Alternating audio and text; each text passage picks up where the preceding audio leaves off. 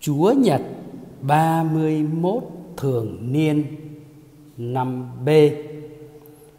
Chủ đề, Yêu thương là chu toàn lề luật. Kính thưa quý anh chị em, Năm 1987 Một trận động đất lớn xảy ra ở Armenia. Nhiều căn nhà bị đổ sập nhiều người bị chôn vùi trong đống đổ nát. Mẹ con chị Susanna bị mắc kẹt giữa các bức tường. Bé gào khóc, đòi uống nước. Chị biết nếu không có nước, con chị sẽ chết. Và rồi tình mẫu tử mách bảo, chị sờ soạng trong bóng tối, tìm được một mảnh kính vỡ, cắt vào ngón tay. Đưa ngón tay vào miệng con, bảo con mút. Chị bị mất máu, bị hôn mê. Mọi người đều coi việc cắt ngón tay lấy máu cho con uống là hành vi anh hùng. Nhưng chị chỉ trả lời đơn giản. Tôi không có anh hùng gì hết. Tôi chỉ muốn con tôi sống, nên tôi hành động như thế. Tôi chỉ muốn con tôi sống là mệnh lệnh đối với rất nhiều bà mẹ trong lịch sử. Nó là luật bất thành văn, mạnh mẽ phi thường, giữa đời thường, bình dị tình yêu là cốt lõi của cuộc sống, cho phép con người chu toàn nghĩa vụ đối với chúa và tha nhân. Phụng vụ lời chúa hôm nay trình bày cái cốt lõi nền tảng chi phối mọi sinh hoạt theo luật trong đời sống cộng đoàn. Bài đọc thứ nhất trích sách đệ nhị luật đề cao việc thực hành điều luật dạy để được Chúa chúc lành và cho sống hạnh phúc lâu dài. Vấn nạn đặt ra phần thưởng cho một người hệ tại việc tuân giữ luật hay do Thiên Chúa yêu thương ban tặng. Nếu nói do sống đạo đức, công chính, thánh thiện tự nhiên thì ơn Chúa ban sẽ giữ vai trò nào? Còn nếu nói do ơn Chúa ban một cách nhưng không thì việc tuân giữ luật Chúa là thừa thãi, là vô ích.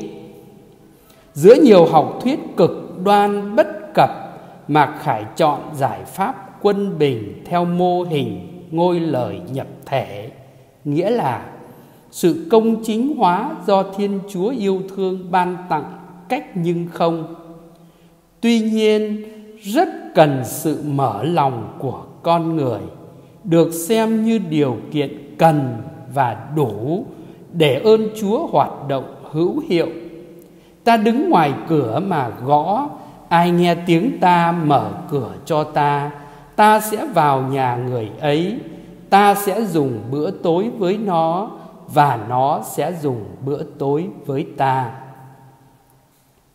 Mô-xê trong bài đọc thứ nhất dạy dân tìm kiếm hạnh phúc và sự sống trong Đức Chúa qua việc tuân giữ những mệnh lệnh và huấn dụ của người. Ông không phải là hạng người vụ luật, nhưng nhấn mạnh tâm tình yêu mến đối với đấng ban phát mọi ơn lành. Đoạn kết của bài sách thánh như bản tuyên xưng đức tin vào Thiên Chúa tình yêu và sự sống. Nghe đây, hỡi Israel, Đức Chúa là Thiên Chúa duy nhất. Ngươi hãy yêu mến Đức Chúa hết lòng, hết linh hồn, hết sức lực, hết khả năng. Đối với Môse tuân giữ luật Chúa phải phát xuất từ trái tim, từ lòng yêu mến, chứ không phải là hình thức giữ những lề luật bề ngoài. Tâm tình yêu mến làm cho kẻ tin nên công chính, vì đó là sự đáp trả bằng tình yêu đối với đấng tạo hóa. Sự tuân giữ giới răn chúa thuộc đức hiếu thảo phát xuất từ lòng biết ơn nên đáng được chúa chúc phúc và ban thưởng hạnh phúc lâu bền. Lời sách đệ nhị luật trích đọc hôm nay cho phép chúng ta hòa vào dòng chảy của tình yêu thiên chúa để ngộ ra ý nghĩa của việc tuân giữ lệnh truyền. Tất cả là tình yêu và mọi hành vi đều phải do tình yêu chi phối mới đẹp lòng chúa và sinh ích lợi cho kẻ có lòng yêu mến. Chúa giêsu trong bài tin mừng trao cho vị kinh sư bản tóm kết tất cả lề luật và các ngôn sứ hai giới răn, mến chúa, yêu người. Và chúa kết luận không có giới răn nào trọng hơn hai giới răn đó. Ông luật sĩ tỏ ra thông minh tiếp nhận lời dạy của chúa giêsu ông tâm đắc lời chúa dạy. Thầy dạy rất hay, rất đúng. Ông cũng rút ra bài học cho chính mình, mến chúa hết lòng, hết sức lực, hết trí khôn và yêu tha nhân như chính mình thì hơn mọi lễ vật hy sinh và mọi lễ vật toàn thiêu như vậy việc sống đạo đức thánh thiện luôn tùy thuộc vào ơn chúa và việc thực thi ý chúa lắng nghe lời Chúa và đem ra thực hành, đưa người môn đệ vào chiều sâu nội tâm chứ không hời hợt ở hình thức bề ngoài, môi miệng, giả hình. Vì kinh sư là học trò tốt bởi đã trả lời đúng và nhất là quyết tâm đem ra thực hành nên Chúa khen ông là người khôn ngoan và cho phép ông gia nhập nước Thiên Chúa. Thật hạnh phúc cho ông và cho tất cả những ai nhiệt tâm sống giới luật yêu thương như Chúa Giêsu đã dạy. Để luôn nắm bắt, nắm giữ được chìa khóa của sự khôn ngoan là điều kiện cần và đủ trở thành công dân nước trời.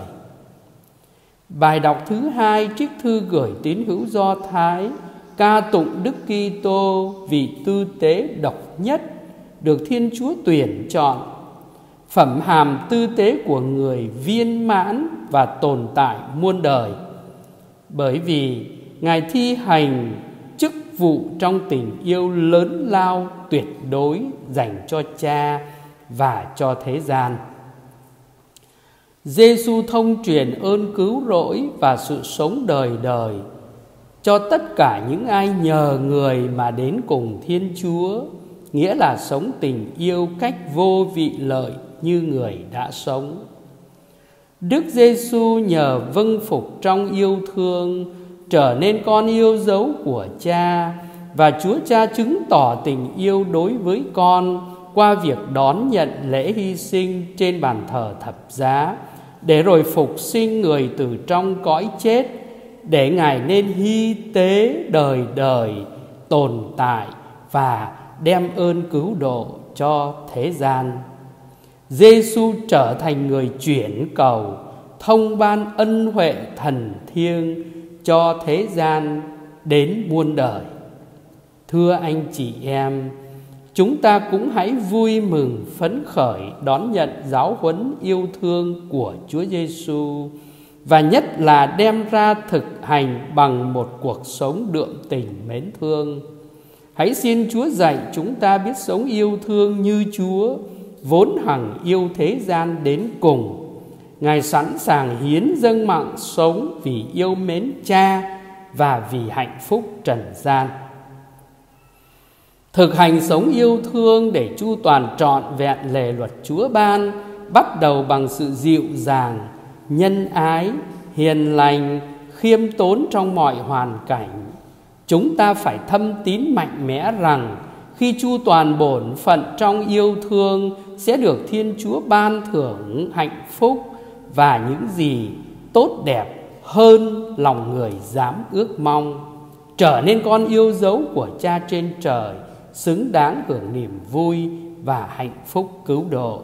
Xin chúa thương nâng đỡ và chúc lành cho cộng đoàn chúng ta đang tham dự thánh lễ này. Amen.